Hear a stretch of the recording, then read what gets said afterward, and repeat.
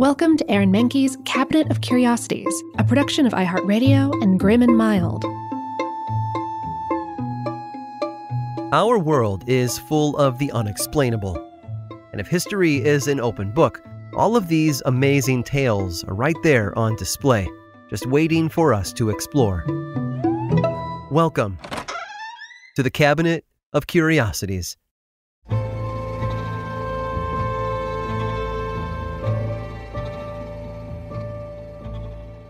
A new year usually means new beginnings. It's a time for reinvention, rebirth, and resolutions. Those with aspirations to shed some weight or learn a new language might join a gym or take classes. But if you're Bernard McFadden, you might try to completely reinvent yourself and how we celebrate the new year in the process. Bernard McFadden was born in Mill Spring, Missouri in 1868. He had a tough childhood, both physically and emotionally. His parents were often sick, and their illnesses eventually claimed their lives while he was still just a boy. The young Macfadden himself also faced health troubles, but he was able to overcome them with the help of a farmer who took him in after the deaths of his parents. The manual labor strengthened his frail form, and the hearty farm food nourished him. It had been the perfect cure for his meager body until he left a few years later to work behind a desk in St. Louis. It didn't take long for McFadden to revert back to his old self. When he realized how much he missed the way he used to feel, he returned to what he'd learned on the farm. Instead of manual labor, though, he began lifting weights. He changed his diet and became a vegetarian, and he walked everywhere, sometimes logging six miles a day. He also refused to pollute his body with tobacco and alcohol, opting instead to participate in activities of strength and agility, such as boxing and wrestling. Macfadden also took his physique seriously, more so than any man he'd ever encountered, and he used his growing fame to show others what could be achieved with a life of proper diet and exercise. On a trip to England in the late 1890s, he partnered with a man named Hopton Hadley, who had invented an apparatus that mounted to the wall and allowed people to develop the different muscles in their arms, legs, and torsos. McFadden helped Hadley in marketing the device to the public. Then, in 1899, McFadden became an entrepreneur himself when he started Physical Culture magazine. It was more than a lifestyle publication, it was the start of something bigger than he ever could have imagined. Physical Culture spawned almost a dozen other magazines, ranging from true crime to confessions and even tales of the supernatural, if that's your sort of thing. He also wrote articles for other outlets on topics such as fasting and something he called the milk diet, Macfadden, by this time, had changed his name to Bernarr Macfadden, adding an extra A between the M and C of his last name, and styling his first name after the roar of a lion. He wanted it to sound stronger and more masculine, although it was hard to imagine the man as anything but. Clearly, he modeled his life on pushing himself to the limits.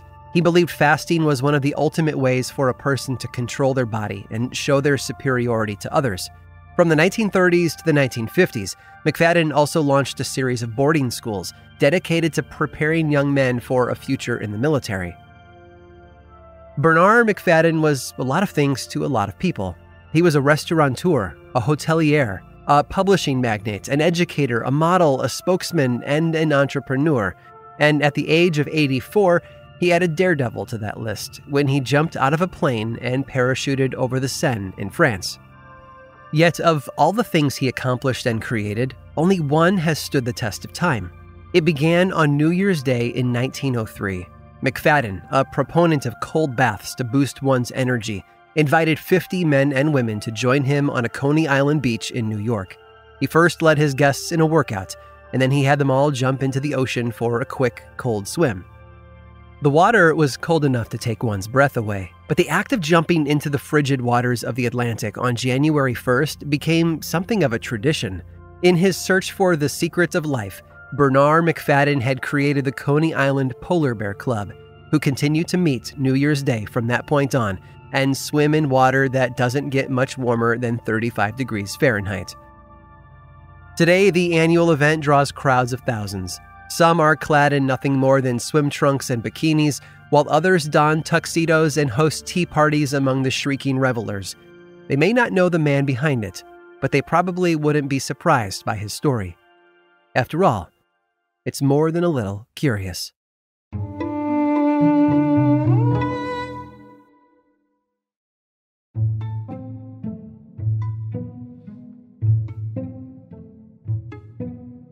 When we want to remember the good times, like birthdays and weddings, we tend to haul out the photo album. Each page acts as a window into the past, taking us back to the moments where smiles and tears have been captured on film.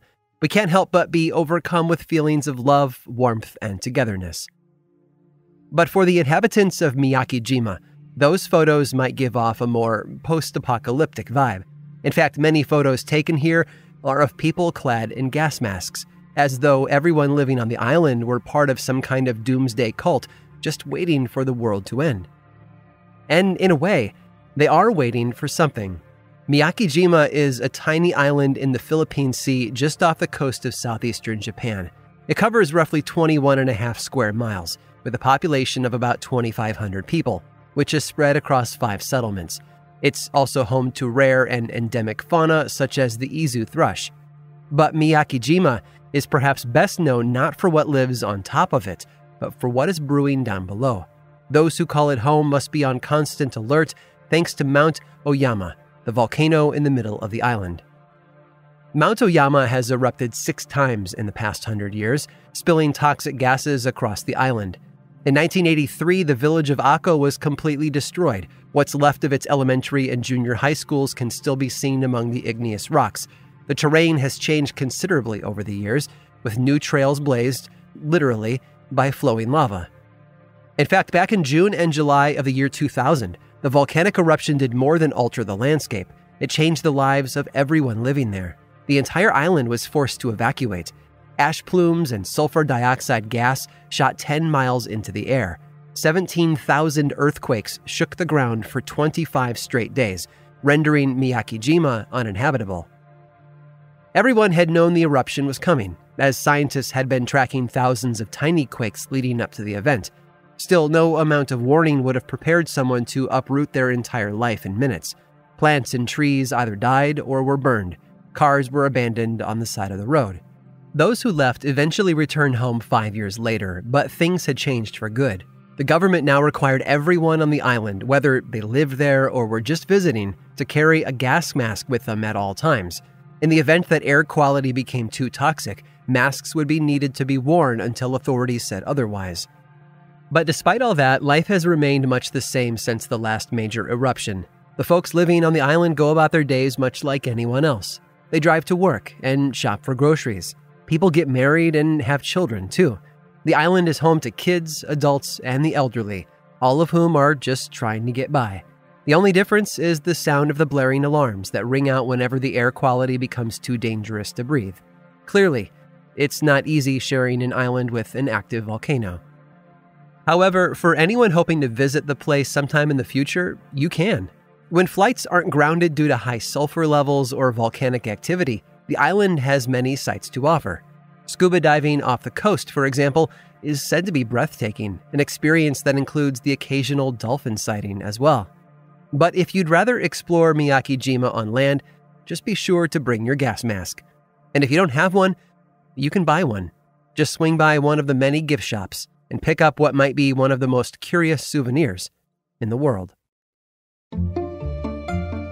I hope you've enjoyed today's guided tour of the Cabinet of Curiosities. Subscribe for free on Apple Podcasts or learn more about the show by visiting curiositiespodcast.com. This show was created by me, Aaron Mahnke, in partnership with How Stuff Works. I make another award winning show called Lore, which is a podcast, book series, and television show.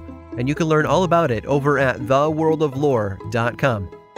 And until next time, stay curious.